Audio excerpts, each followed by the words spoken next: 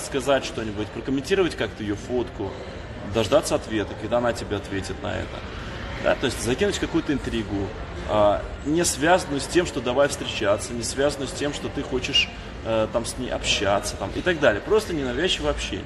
Такое ненавязчивое общение должно продолжаться там какое-то время, да. То есть перекидываешься сообщениями, что-то прикольное отправил ей, да. Это очень важно. Многие люди не понимают этого, не знают этого, да, не обращают на это вообще никакого внимания. А это действительно очень важно. Потому, почему? Потому что э, девочка, она начинает чувствовать, что ты как бы входишь, немножко влазишь в ее круг, и уже ей не так страшно с тобой встречаться. И, в принципе, она понимает, у нее уже ну, формируется за счет этой переписки э, какое-то доверие к тебе, какая-то заинтересованность по отношению к тебе. И тогда, да, ей гораздо проще с тобой встретиться, да. Тогда ей гораздо проще там тебе довериться, там с тобой куда-то сходить, да, ну и так далее, да. И ты можешь ее прощупывать за счет такой переписки.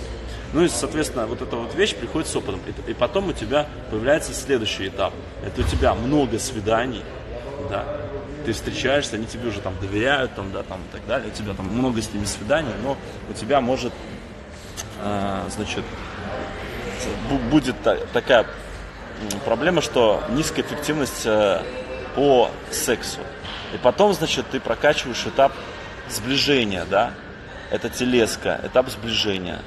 Дальше у тебя этап сближения начинает прокачивать. То есть фишка вот тренировки именно соблазнения в том, что все этапы прокачиваются э, постепенно. Пока ты не, прокачаешь этап знакомства и не будет э, хорошей эффективности знакомства, там, телефонов, то приступать к этапу свидания рано еще, потому что тебе не с кем будет встречаться. Это логично, да?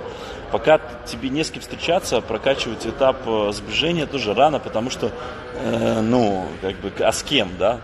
Вот. Ну и дальше будет этап, когда у тебя на, на, э, любого человека накрывает, да, и, значит, он начинает заниматься сексом много с разными девочками, там, сносит ему крышу, потому что уже натренировался настолько, настолько понял, как стягивать к себе женщин, да.